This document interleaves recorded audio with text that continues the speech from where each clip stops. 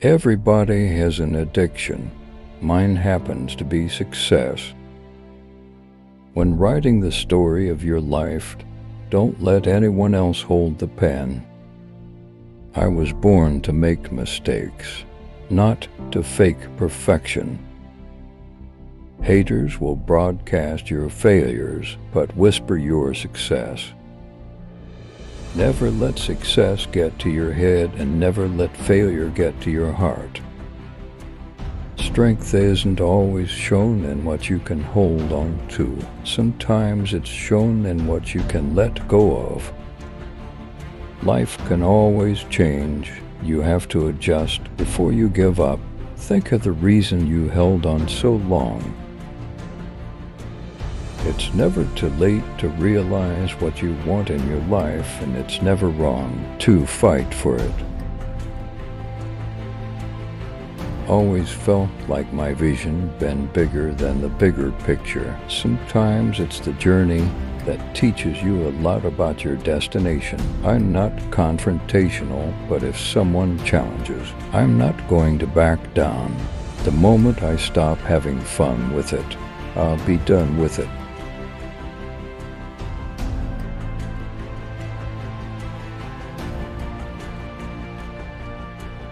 Pain makes you stronger. Fear makes you braver. Heartbreak makes you wiser. Life is just a game in which the cards are facing down. I'm in the world where things are taken. Never given how long they choose to love you will never be your decision. Everybody dies, but not everybody lives. Count your blessings, not problems. Live without pretending.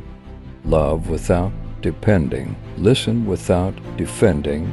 Speak without offending. All in all, I learned lesson from it though. You never see it coming, you just get to see it go. It's funny when you coming in first, but you hope that you're last. You just hope that it lasts. When it comes to knowing what to say to charm, I always had it. The girl that I want to save is like a danger to my health. Try being with somebody that want to be somebody else. I'm more than just a number. I doubt you'll find another. So every single summer, I'll be the one that you remember.